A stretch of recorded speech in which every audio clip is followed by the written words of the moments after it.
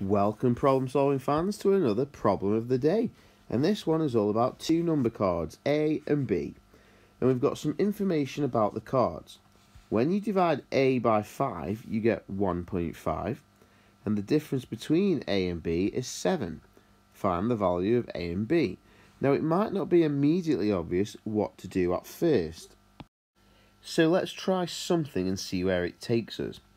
So the first statement says when you divide A by B, so in other words, A divided by B, you get 1.5, or in other words, 1.5. So that must mean if you work in reverse and go backwards from 1.5, 1.5 times by B would give you A. So in other words, A is basically 1.5 times by b, or one and a half lots of b. And this fact is so important to our understanding of the rest of the problem that I'm going to circle it. So A is one and a half lots of B. And then from there, we can start to draw a bar to represent the A and the B. So the first bar I'm going to draw is a bar to represent A.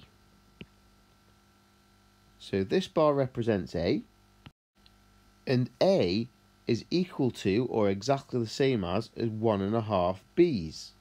So the orange bar is 1B plus an extra half of B.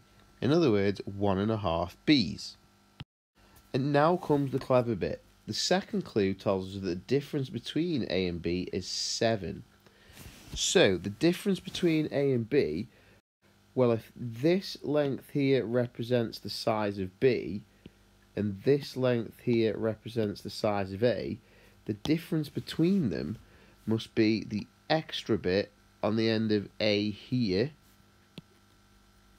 which is also the same as this extra half of B here. And the difference between them is 7. So that bit must be worth 7. Now, if half of B is worth 7, then the whole B must be worth 14 half of b is worth 7, then the whole b must be worth 14, which would make this bit up here also worth 14. So now we've got enough information to get our final answer.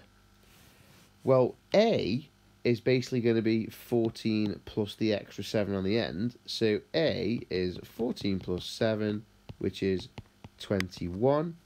And B is just the 14 because the 7 on the end is half of b. So 1b, 1b on its own isn't the extra 7 on the end, it's just the 14. So b is just 14. So there's the final answers. A is worth 21 and B is worth 14.